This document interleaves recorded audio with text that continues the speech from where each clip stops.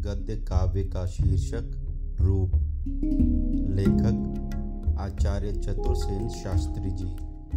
वाचक, अमित पांडे। उस रूप की बात मैं क्या कहूँ? काले बालों की रात फैल रही थी और मुख चंद्र की चांदनी छिटक रही थी। उस चांदनी में वह खुला धरा था। सोने के कलसों में भरा हुआ था। जिनका मुँह खूब कसकर बंद रहा था, फिर भी महक फूट रही थी। उस पर आठ दस चंपे की कलियाँ किसी ने डाल दी थीं। भोरे भीतर घुसने की जुगत सोच रहे थे। मदन कमान लिए खड़ा रखा था। उसका सहचर यौवन अलकसाया पड़ा था। न उसे भूख थी, न प्यास, छका पड़ा था। मैं बड़ा प्यासा था। हार कर आ रहा था। शरीर और मन दोनों चुटीले हो रहे थे। कलेजा उबल रहा था और हृदय झुलस रहा था। मैं अपनी राह जा रहा था। मुझे आशा न थी कि बीच में कुछ मिलेगा, पर मिल गया। संयोग की बात देखो कैसी अद्भुत हुई। और समय होता तो मैं उधर नहीं देखता। मैं क्या भिखारी हूँ या नदीदा हूँ जो राह चलते रस्ते पड़ी वस्तु पर मन चलाऊं? पर वह अवसर ही ऐसा था। प्यास तड़पा रही थी, गर्मी मार रही थी और अतृप्ति जला रही थी। मैंने कहा जरा सा इसमें मुझे मिलेगा? भूल गया। कहा, कहाँ? कहने की नौबत ही नहीं आई। कहने की इच्छा मात्र थी, पर उसी से काम सिद्ध हो गया। उसने आंचल में छान कर प्याले में उड़ेला एक डली मुस्कान की मिश्री मिलाई और कहा, लो, फिर भूल गया। कहा सुना कुछ नहीं। आंचल में छान प्याले में डालकर मिश्री मिलाकर सामने धर दिया। चंपे की कलियाँ उसमें पड़ी थीं, महक फूट रही थी। मैं ऐसी उदासीनता से किसी की वस्तु नहीं लेता हूँ, पर महक ने मार डाला। आत्मसम्मान, सभ्यता, पद मर्यादा सब भूल गया। कलेजा जल रहा था जीव ऐंठ रही थी। कौन विचार करता?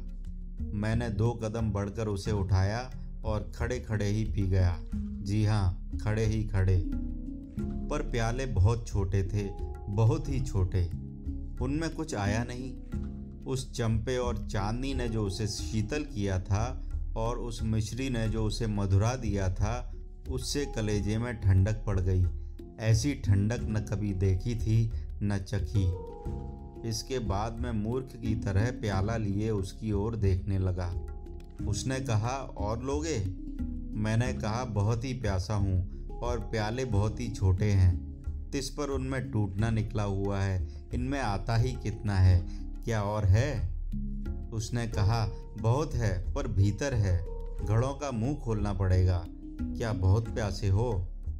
सभ्यता भाड़ में गई। कभी खातिरदारी का बोझ किसी पर नहीं रखता था, पराए सामने सदा संकोच से रहता था, पर उस दिन निर्लज बन गया। मैंने ललचा कर कह ही दिया, बहुत प्यासा हूँ, क्या ज़्यादा तकलीफ़ होगी? न हो तो जाने दो, इन प्यालियों में आता ही कितना है। उसने कहा तो चलो घर, मार्ग में खड़े खड़े क्यों? पास ही तो घर है। मैं पीछे हो लिया। ढकना खोलते ही गजब हो गया। लबालब था। गांठ खोलने का एक हल्का सा ही झटका लगा था। बस छलक कर बह गया। समेटे न सिमटा। उसने कहा, पियो पियो, देखते क्या हो? देखो, बहा जाता है, मिट्टी में मिला जाता है। मेरे हाथ पाँव फूल गए। मैंने घबरा कर कहा, यह इतना इतना क्या मैं पी सकूँगा? यह तो बहुत है। और क्या छानोगी नहीं?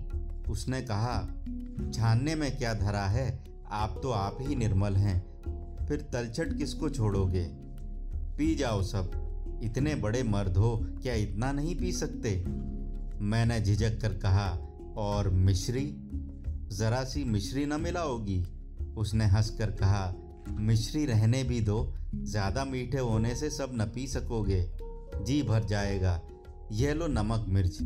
चटपटा बना लो। फिर देखना इसका स्वाद।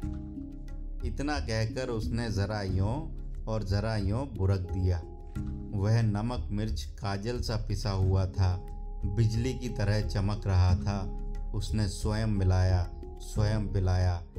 भगवान जाने क्या जादू था। फिर जो होश गया है, अब तक बेहोश हूँ। गद्य काव्य का शीर्षक, रूप, लेखक आचार्य चतुर्सेन शास्त्री जी वाचक अमित पांडे।